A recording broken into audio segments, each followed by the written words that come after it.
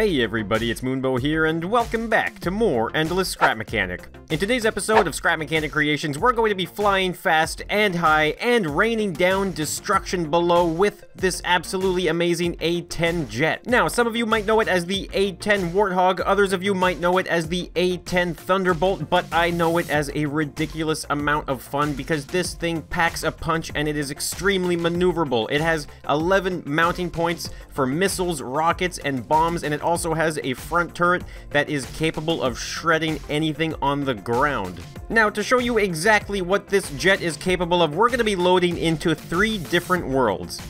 So to start off, we're going to be joining a terrain map where we're going to take to the skies, and I'm going to do some high-speed maneuvers to push the limits of this jet, and I'm also going to show you guys how amazingly easy it is to fly this with a first-person view.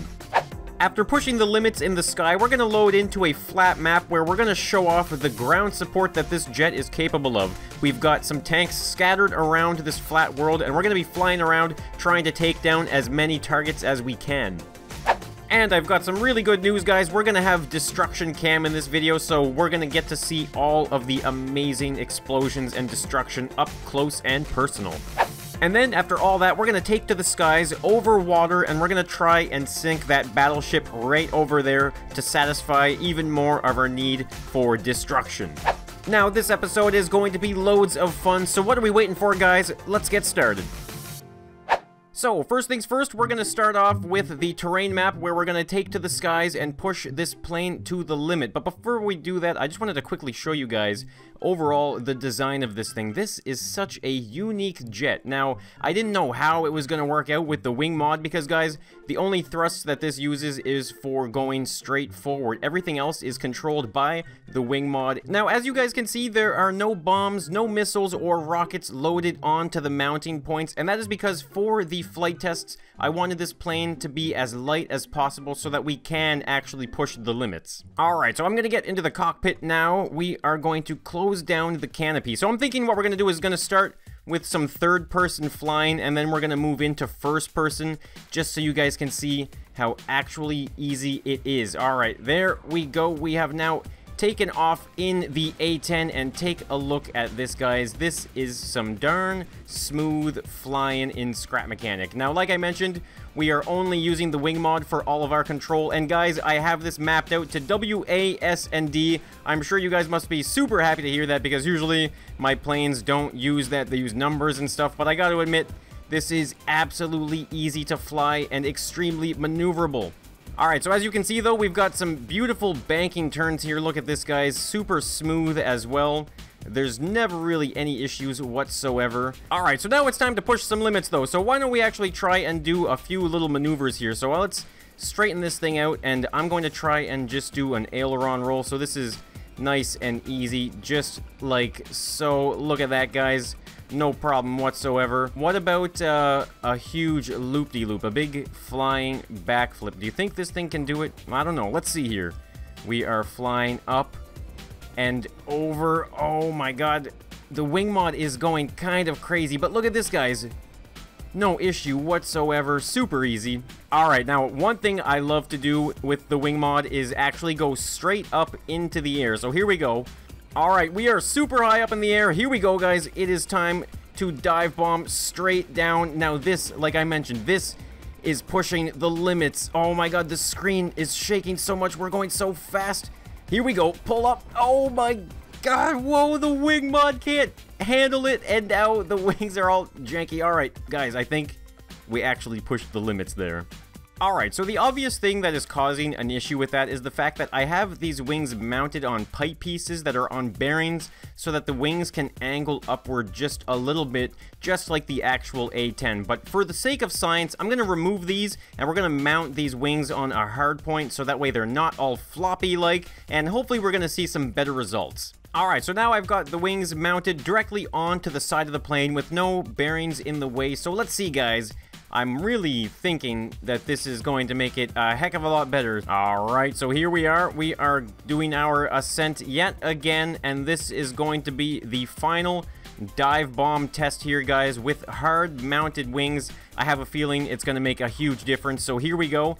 Let's start rolling all the way up and over. Oh, man, what a beautiful sight. And here it is. All right, the tail wings, they have completely glitched out, guys. We can no longer use our control back there, but we are still managing. Wow, alright, so that's enough pushing the limits on this plane. Now it is time for a little bit of first-person flight. So here we go, guys. Let's shut the canopy down. Look at this. So one thing I absolutely love about this jet is I went a little bit more with the interior detail, so that way we can kind of have more aesthetic when we're sitting in the first person. And there's also so much glass and room to be able to see everywhere that I have full confidence when we're flying this thing in first person. So here we go, guys. Let's take this thing off and up into the air, all in first person, like I mentioned, guys. We have no issues whatsoever. And look at this. This thing is so stable that we can literally look at where we want to turn and we'll just go that way, you know? We just have to use our controls and we never have to really concern ourselves with losing orientation because the jet basically flies itself. All you have to really do is point it in the direction that you want it to go. And look at this, guys. Some beautiful first-person flight right here where we're able to swoop around between the trees and stuff. Look at this absolutely fantastic. And like I mentioned, guys, this is not difficult whatsoever. Look at these amazing views, though. We can see everywhere that we're going to go. And I have no real fears of running into anything. Unless I really pull my nose up like this, you know, and then I can no longer see anything up front. That's a bit of an issue. But other than that, when we're doing these awesome banking turns, look at this. We can see exactly where we need to go how we can swoop around the mountains. Alright, so one thing we got to do though, of course, is do a little bit of a landing. So why don't we kind of bring ourselves to the edge of the map here where there's all sorts of open space.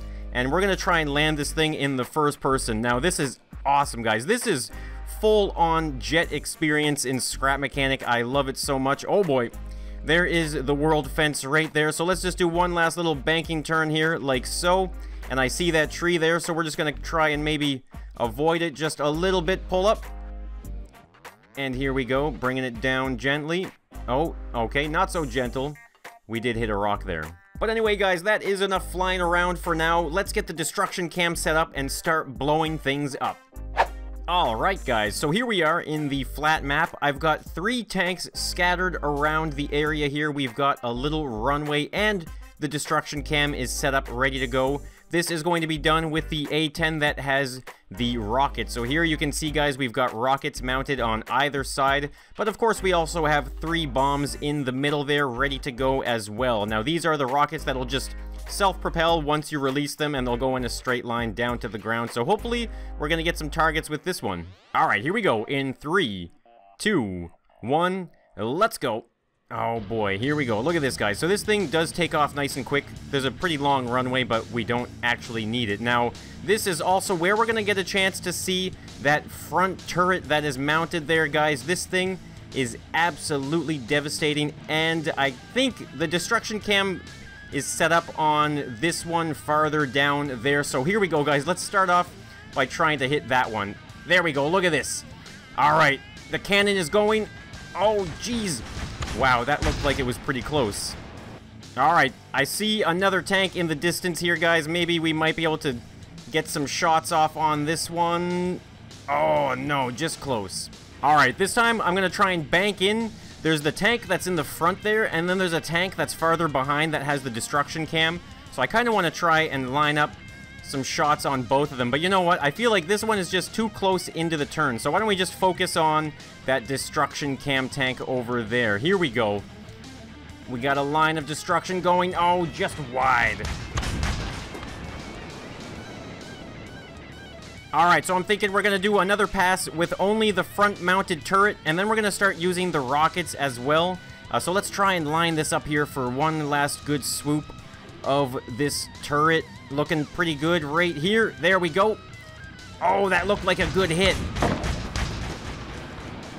Alright, here we go, guys. We're going to line up for a rocket pass. Now, this is going to deploy each rocket in a sequence, one set after the other. So we got to make sure we're nice and lined up here. Alright, this is looking pretty good. I'm thinking we're going to drop them right now. There they go. Oh, wow. Yes! It was a hit. We just got a hit! Oh my god, that was absolutely amazing!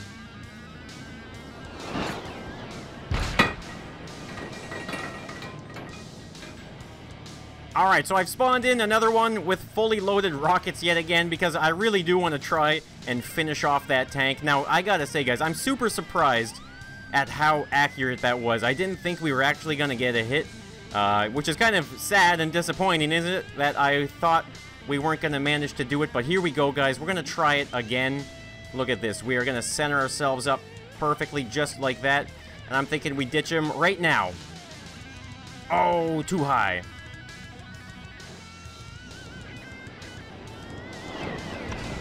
Alright guys, here we go. It's one final attempt with the rockets. Now, this time though, I'm going to be going in for a much lower pass. So hopefully, we'll be able to get some really good destruction on those last little salvaged pieces of tank. Here we go, guys. Super low pass. Oh my god, wow, this is actually super low. Here we go, shoot the rockets. Oh, yes! That is what I'm talking about, baby. That is Jets in Scrap Mechanic.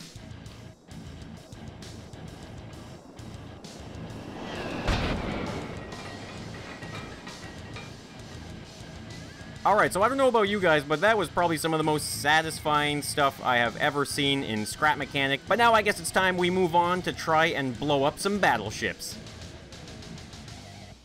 Alright guys, here we go. It's us versus the battleship. We've got Destruction Cam all set up and ready to go. So here we go in three, two, one. Here we go. Now, alright guys, so this jet, this one here is loaded with nothing but bombs. We're going to be dropping these bombs onto the plane. But I'm thinking first, though, of course, we should probably just start off with the turret. See if we can't get a few bits of damage in on that ship there and see some awesome destruction. Alright, so there is the ship over there. We just got to get lined up as quick as we can, just like so. We're going to hold down two. Alright, beautiful. Let's see if we get some hits in. Ooh, it looks like we hit one right at the back of the ship there. Let's try that again.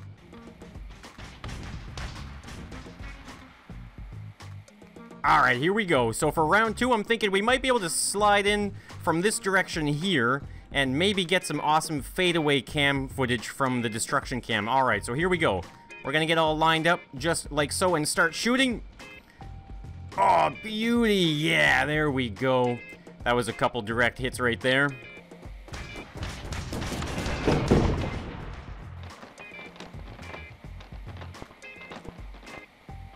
Alright, here we go, guys. Now we're going to try and drop all of our side missiles. They drop in a sequence just like the rockets did. Now look at this, guys. We're looking really good and lined up for this drop. So here we go. I'm going to drop them right now. There they go in a sequence. Oh, yeah, we got a good hit there. I think we just took out the entire back end of that ship.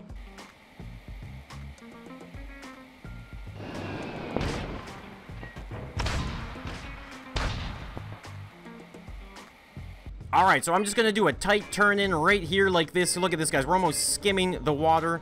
Now, here we go. We're going to try and drop our final missiles on to the plane in just like that. Oh, I just drove into the plane. I mean, the ship.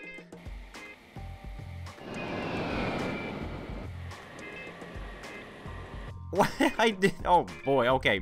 Well, that's one way to take a ship down, I guess. Well, guys, I am going to say that's uh, enough destruction for today. Now, if you guys did enjoy this build or the video, then be sure to leave a like. And if you want to tune in for some more Endless Scrap Mechanic, then make sure you subscribe to the channel and maybe turn on some notifications as well. Now, as always, guys, thank you so much for tuning in to Endless Scrap Mechanic, and I'll be seeing you in the next one, so... Uh, uh bye for now.